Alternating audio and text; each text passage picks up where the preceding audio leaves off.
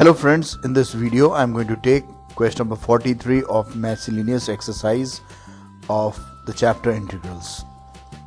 Friends, the question is like this.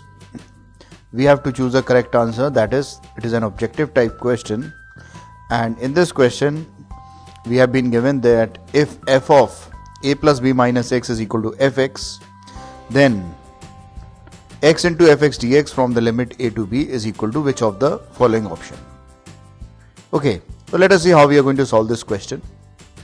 Now, first of all, what I do here is I take this integral, that is the definite integral, and I assume that it is equal to i. Okay, further I have been given f of a plus b minus x is equal to fx, so this I have highlighted it.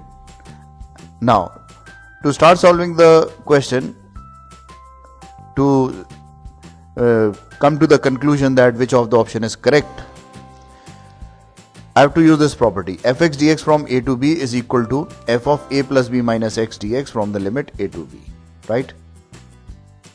Okay, so applying the same property, I can write x into fx dx from the limit a to b is equal to a plus b minus x into f of a plus b minus x dx from the limit a to b.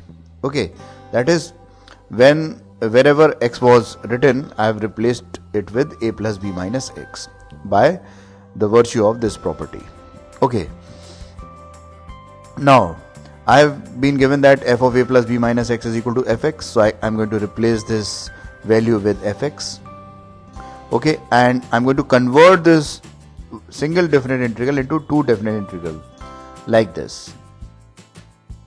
A plus b fx dx from a to b and this minus signs come in between and x into fx dx from a to b.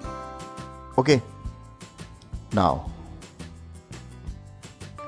this value can be written as equal to i and because this value and this value is equal so this can be also written as equal to i for the sake of simplicity.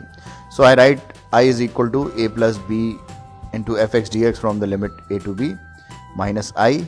Okay. This i is going to go there and I can write 2i is equal to a plus b into fx dx from the limit a to b or i is equal to a plus b upon 2 into fx dx from the limit a to b. Now you can see for yourself that the this matches the option number D. So hence we can see that the D is the correct option. So that's how we are going to solve this question. Friends, thanks for watching my video. To watch more of these super videos and for the latest updates, subscribe and like the videos on these channels on YouTube HSK Shiksha and Math Help by HSK. Thank you.